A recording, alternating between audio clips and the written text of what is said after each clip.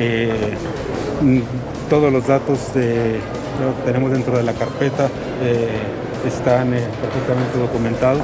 Se pudo obtener el recorrido exacto que tuvo el, vehículo, es decir, el vehículo de servicio público desde que es abordado hasta que desciende.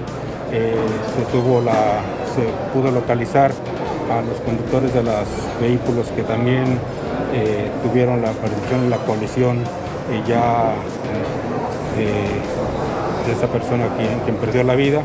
Y bueno, no hemos eh, concluido la investigación, estamos todavía eh, precisamente en la etapa de, una de poder culminar la investigación.